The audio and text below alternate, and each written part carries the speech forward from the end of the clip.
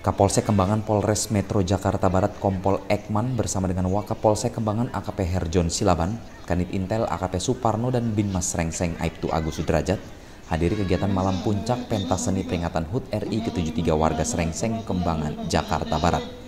Dalam kesempatan ini Kapolsek Kembangan memberikan sambutan serta menyampaikan himbauan Kamtipmas agar selalu kompak dan bersatu bersama-sama menjaga dan memelihara keamanan, ketertiban, sehingga secara bersama-sama dapat hidup rukun, saling menghargai dan menghormati. Dengan demikian, lingkungan tetap terjaga dalam situasi yang kondusif. Dari Jakarta, Aibtu Agus Sudrajat, Tribrata TV, Salam Tribrata.